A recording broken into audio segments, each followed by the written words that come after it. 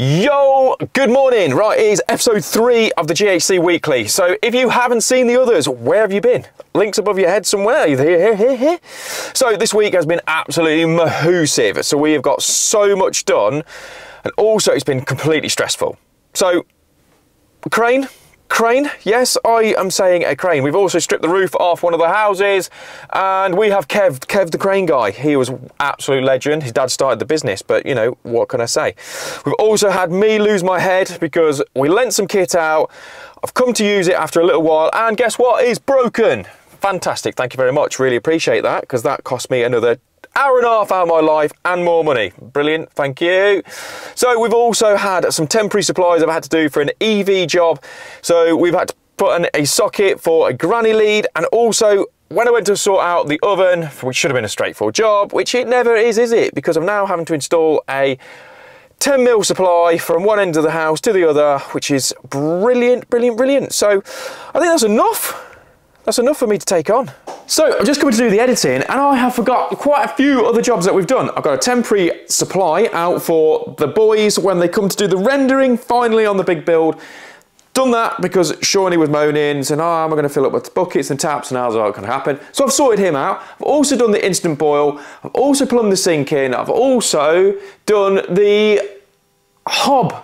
So there's absolutely tons going on in this. So what can I say? It has been stupid busy and I think that deserves a subscribe. So if you haven't subscribed, please make sure you do and uh, let's get into it.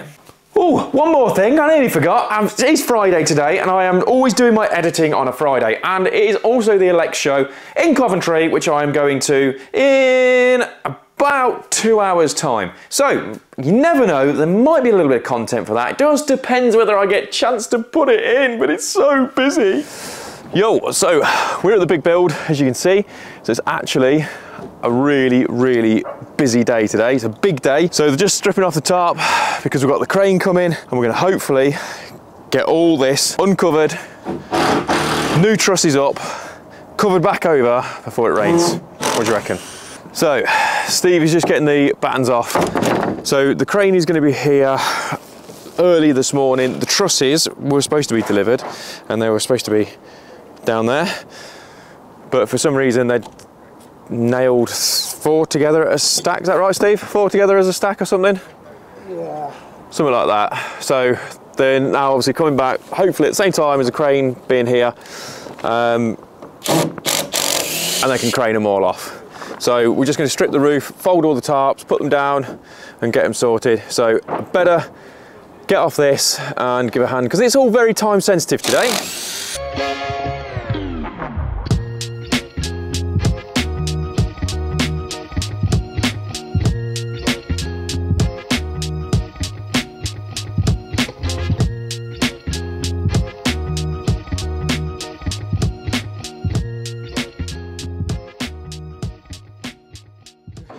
So this is one of the like triples that are going in and then all the way through. So it's all a bit of a bit of a big day, big day today.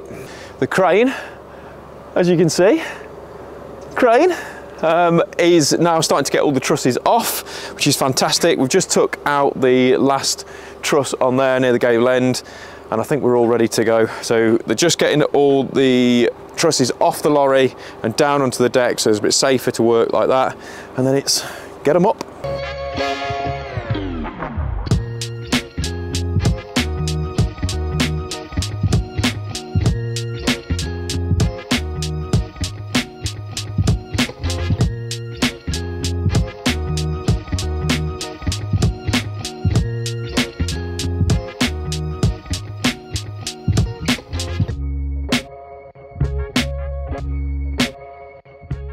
Now, remember, this is the GHC Weekly. If you want to see the full episode of this, of how we've gone about installing all of the trusses and the full episode, be sure to subscribe to the channel and make sure you turn notifications on so you don't miss any of it.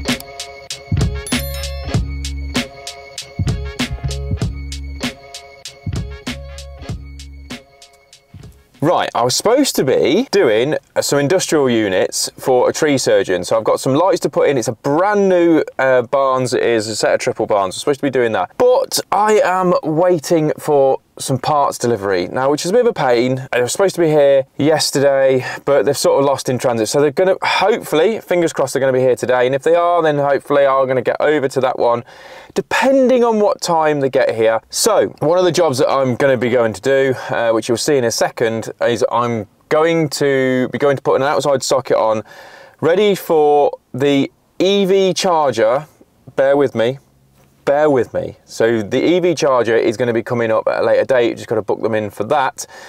So we're putting a temporary socket on the outside, say temporary, semi-temporary. Um, for, so they can use the granny, granny charging system. Um, so let's go over to there, go and have a look at the job and see what we can do. Okay, so it is mega, mega windy. So I've done the job now. The reason why I can't film inside is because the client's working um, and I needed to keep the power on as quick as possible. But let me just run you through the job itself. I'll go and show you what I've done. So part of the job is we've got to come back and we've got to change the consumer unit. But for now, as a temporary measure, we are using the granny lead as you can see there. So we've just installed this outside socket from BG, which is fantastic, my go-to, as everybody knows. So we've managed to get the car up and running, some all been tested. So just the other side of the wall, there was a socket on this wall. So what we've done is we've extended the cable round and surface mounted. So there's a fuse spur just the other side and then a double socket and there. Also on the job, I was due to install the cooker, the range cooker, but it's ended up being a little bit of a problem. So we'll jump inside and I'll go and show you and explain why I can't install that right now. So the client's not long moved into the house and we just bought, well, I say we, I've not, the client's bought, this fantastic range cooker from Smeg. Now, it's got steam function and all sorts of jazzy tackle, but got a bit of an issue. As we can see, there is a six mil supply to it just left here. It is isolated, so we do not need to worry about the health and safety police. You can just back right off. So we've got a 6 mil and a 32 amp supply, but this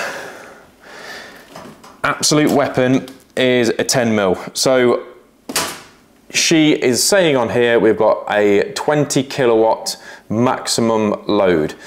So I have spoke to Smeg at the old technical and what they have now said is yes when you apply all diversity factors and all the rest of it it still needs a 50 amp supply so to continue with the 10, you must always install with a 10, he said. You cannot do this with a 6. It has to be changed over, so which means we're going to have to put a new supply in. We're going to come up through the loft, drop it down externally in armoured and run it round and go in that way. But for now, I can't do any more to it. We're going to have to just come back, rebook and get it sorted. So let's hopefully, fingers crossed, my delivery has been made and we can get off to the big build and go and see what those guys are doing. Now at the big build, they've stripped off the roof because the roof trusses are being delivered today. They may be there depending on what time I get to it. And then we've got a big crane day tomorrow because the loft conversion has started. So we're at the big build and one of the jobs that I am doing today is plumbing in all the sink. So Jake's just coming to give me a hand because there's all these boards and stuff here. The waste, I've got to sort the waste out now. I've just done all the, the plumbing bits inside, um, which I'll briefly show you in there. But we're gonna have to move these boards. Yes, all the back of it's all being rendered. So Sean's actually asked now whether I can have, well, whether I can have, whether he can have an outside tap whacked on.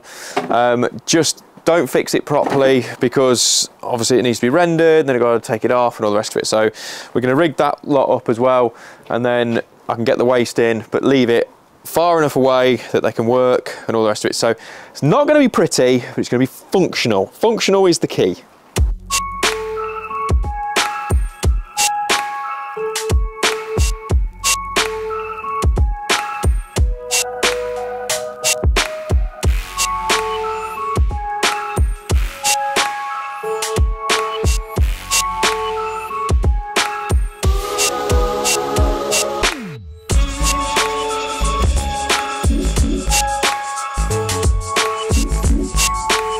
It'll be all right. Just touch it. Touch it. Come here.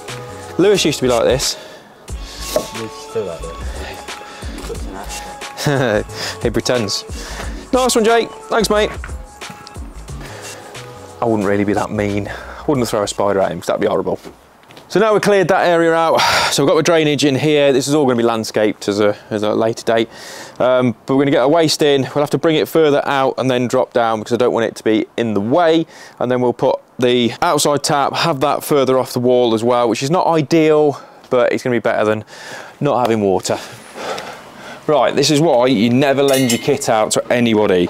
So just come to use to do this core drill for putting the waste in and the drift is bent like a banana and this six inch is absolutely welded itself on. Can't get it off. I've tried loads of different methods and I'm not very happy about it. So now that means I'm gonna have to go down to Screwfix to go and buy another one. Brilliant.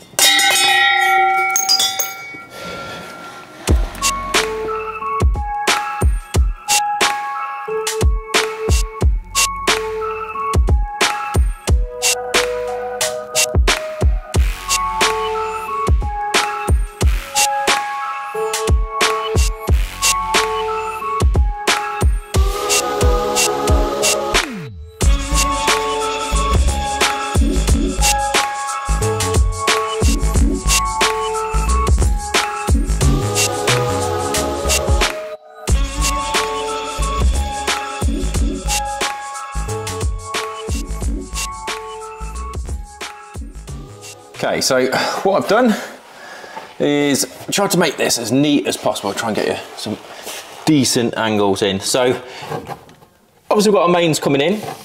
We've also got mains going out to the rest of the house. We've got our hot feed here and then we've linked across. So we've put that temporary, well the isolator is not temporary, but we've got the temporary uh, cold tap outside and I'll explain more in a second. Then we've got our cold feed, hot feed for the tap, and then instant boil as well, and filter, which is there, filter for that. This has actually been really easy to install, uh, that one. So first time from that, I've usually fit the Quooker ones, um, but actually really impressed with that. Go and check those out. It's not paid by them at all. It is just a little bit of a shout out for those. Um, but yeah, the gunmetal sink and the gunmetal tap Really like that in fairness, really smart bit of kit.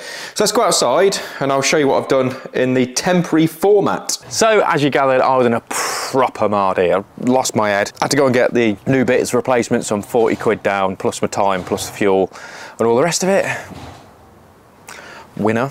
Um, so yeah, so it's really annoyed me. So what I've done for Shawnee, um, and also because the house is being rendered, He's asked for a, an outside tap, so what I've done is put a full bore tap and isolator on, made that. It is really long off the wall, which it is for a reason, because when they render all this, I don't want them to um, moan or complain about anything because it just needs to be done and make their life easier. I've also not solvent weld welded the waste on because again if they're trying to get the, the hawk in or whatever they have got the option of just removing that if they need to. Um, but yeah so another little job done. So hopefully you've enjoyed it. And uh, yeah we can get out of here and we'll see you on the next weekly. Look after yourselves